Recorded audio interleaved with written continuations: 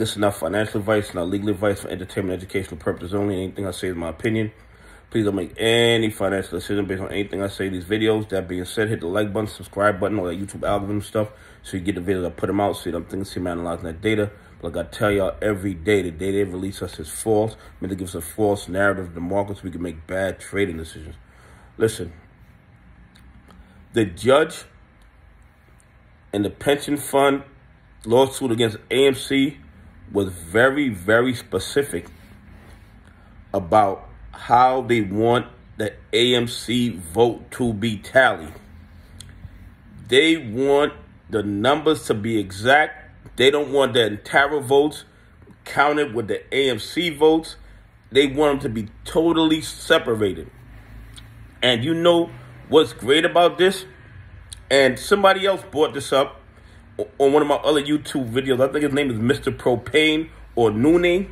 Nune. If I said it wrong, that was not my intention. But he brought up a great point.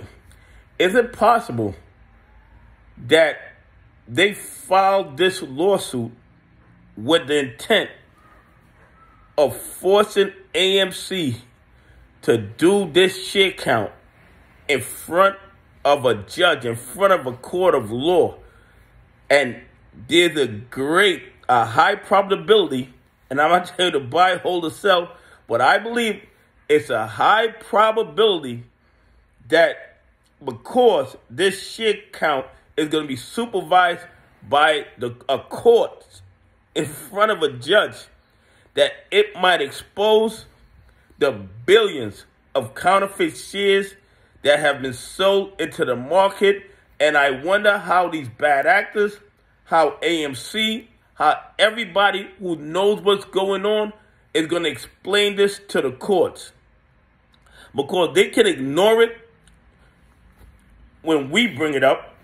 But once these numbers are presented to the court on April 27, and if you see billions of AMC vote, billions of APE votes, there are going to be some people who are going to have to answer, and the SEC, FINRA, the DTCC might get pulled into this AMC lawsuit.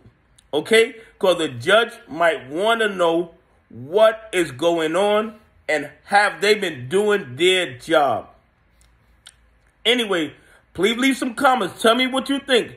Do you think that because the courts are going to control how this vote is tabulated, is the AMC vote going to expose billions of counterfeit shares in front of a judge? Anyway, we have a great day. God bless. And I appreciate y'all on this journey with me.